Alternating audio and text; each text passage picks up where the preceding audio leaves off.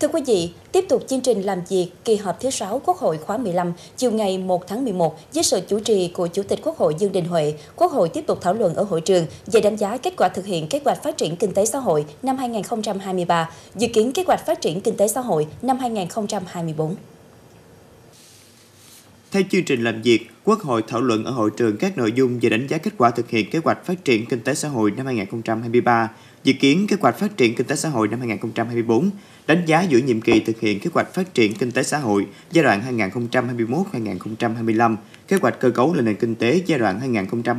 2021-2025, kết quả thực hiện chính sách tài khóa tiền tệ, hỗ trợ chương trình phục hồi và phát triển kinh tế xã hội. Tham gia đóng góp ý kiến trong phiên thảo luận tại hội trường, trưởng đoàn đại biểu Quốc hội tỉnh An Giang Trần Thị Thanh Hương đề nghị Quốc hội Chính phủ chú trọng công tác bảo vệ trẻ em, theo đó, nghị quyết số 121 của Quốc hội đặt ra yêu cầu kiềm chế và kéo giảm từ 5 đến 7% các loại tội phạm xâm hại trẻ em, nhưng từ năm 2020 đến nay, tỷ lệ trẻ em bị xâm hại đều có chiều hướng gia tăng.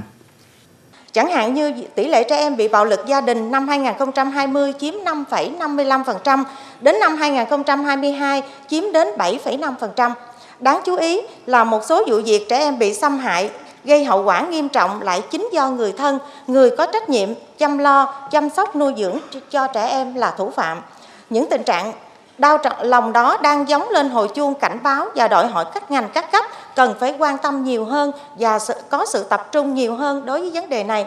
Theo báo cáo số 500 của chính phủ thì một trong những nguyên nhân là do việc phối hợp thực hiện công tác gia đình và công tác trẻ em có mặt chưa hiệu quả. Kinh phí dành cho công tác này à, hiện tại ở một số chương trình đề án của địa phương thì chưa được quan tâm đúng mức. Trước thực trạng đó, xin đề xuất với Quốc hội và Chính phủ. Một, tăng cường chỉ đạo ưu tiên đảm bảo nguồn lực, đồng thời chú trọng hơn nữa công tác giám sát việc thực hiện các quy định pháp luật liên quan đến trẻ em và phòng chống xâm hại trẻ em. Hai, nâng cao hơn nữa hiệu quả công tác phối hợp với các tổ chức, nhất là Đoàn Thanh niên Cộng sản Hồ Chí Minh, Hội Liên hiệp Phụ nữ Việt Nam, Hội Bảo vệ quyền trẻ em Việt Nam để việc chăm sóc bảo vệ trẻ em được thực hiện một cách đồng bộ, thiết thực và hiệu quả hơn.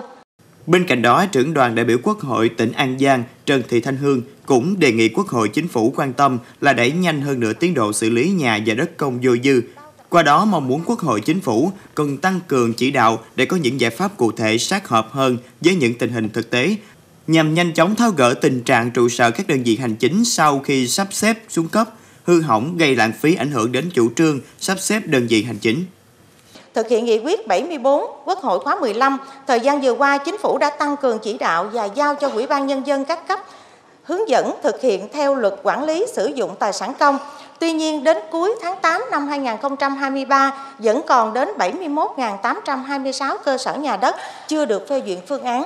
Sau khi sắp xếp, nhu cầu đầu tư xây dựng, nâng cấp cơ sở hạ tầng là rất lớn, nhưng hiện tại vẫn còn nhiều trụ sở ở các đơn vị hành chính sau khi sắp xếp chưa được bố trí sử dụng hiệu quả, cho thấy câu chuyện dư thừa và lãng phí trụ sở hành chính, tài sản công vẫn đang là bài toán nan giải, rất cần tập trung tìm biện pháp xử lý. Cử tri và nhân dân mong muốn Quốc hội, Chính phủ cần tăng cường chỉ đạo để có những giải pháp cụ thể, sát hợp hơn nữa với tình hình thực tế nhằm nhanh chóng tháo gỡ tình trạng trụ sở các đơn vị hành chính sau khi sắp xếp xuống cấp hư hỏng gây lãng phí, ảnh hưởng đến chủ trương sắp xếp đơn vị hành chính, ảnh hưởng đến niềm tin và gây bức xúc trong dư luận.